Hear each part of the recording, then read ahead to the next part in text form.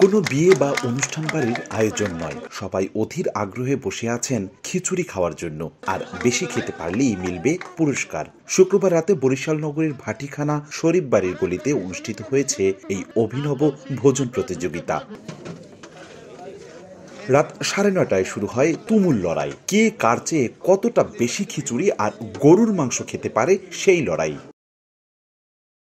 ব্যক্তি উদ্যোগে ভিন্ন স্বাদের আনন্দ দিতে স্থানীয় টুলু শরীফ গত কয়েক বছর ধরে এলাকাবাসীকে নিয়ে এই আয়োজন করে আসছেন। তিনি জানান, ভোজন প্রতিযোগিতায় চাচা ও ভাতিজা নাম দিয়ে দুটি দল করা হয়। দুই দলে বিশ জন করে চল্লিশ জন অংশ নেয়। দুই দলের জন্য দুই মন খিচুড়ি ও তিরিশ কেজি গরুর মাংস রান্না করা হয়। যে দল বেশি খেতে পারে, তাদের জন্য রয়েছে পুরস্কার। দুই মনে চল্লিশ জন লোক।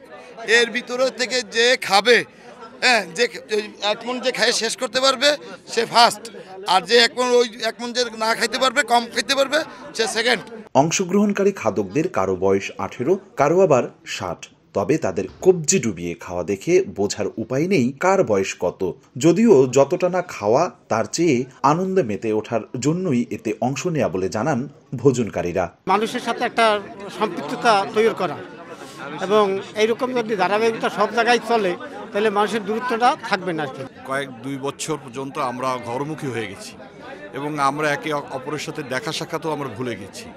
সেই ক্ষেত্রে অনেক দিন পরে আমরা আবার একটু এক জায়গায় হইতে পারার জন্য আমরা মহান আল্লাহর কাছে শুক্রিয়া আদায় করি। প্রতিযোগিতায় আটত্রিশ কেজি খিচুড়ি আর পনেরো কেজি গরুর মাংস হজম করে চ্যাম্পিয়ন হয়েছে ভাতিজা গ্রুপ আর চাচা গ্রুপ বত্রিশ কেজি পর্যন্ত সাবার করতে পেরেছে। হয়েছে রানার্স আপ। খেতে পেরে দুপক্ষেরই আনন্দের সীমা নেই। আজকের এই অনুষ্ঠানে এই ভাতিজা গ্রুপ বিজয়ী হবে। আমরা জিতবো ইনশাল্লাহ আমরা আশাবাদী এবং আমরা সফলতা অর্জন করব এখানে। আলহামদুলিল্লাহ খুব ভালো খাইতেছি। খাওয়া শেষ হয় নাই এখনও। চলতে আছে সাবেক চ্যাম্পিয়ন ছিলাম।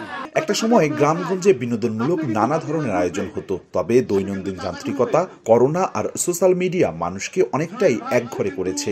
সেখানে স্বাস্থ্য সতর্কতা মেনে এ ধরনের আয়োজন মানুষে মানুষ বন্ধন আরও মজবুত করবে বলে আশা ভোজন রসিক দর্শনার্থী এবং বিশেষ অতিথিদের। এই আয়োজনটা আগে গ্রাম ভিত্তিক ছিল। গ্রামের মহল্লায় এই ধরনের একটা ভোজন বিলাসের অনুষ্ঠান হতো। তো সেটা আমাদের মাছ থেকে হারিয়ে গেছে। বর্তমানে তো করোনার পরিস্থিতি, এটা আরও হয় না। তবুও এখানে পাড়া মহল্লা, গ্রাম মহল্লাকে একটা একত্রিত আনন্দ দেওয়ার জন্য আজকের এই ভোজন অনুষ্ঠানটা করা হয়েছে। এটি খুব আনন্দের একটি বিষয়।